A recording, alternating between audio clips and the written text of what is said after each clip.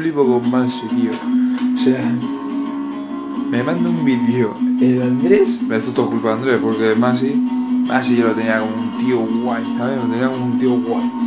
Pero se ha convertido en un cantante country, que me gustó más.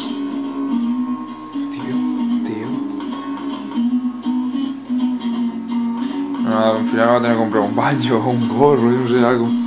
Algo. Toca la guitarra, bueno.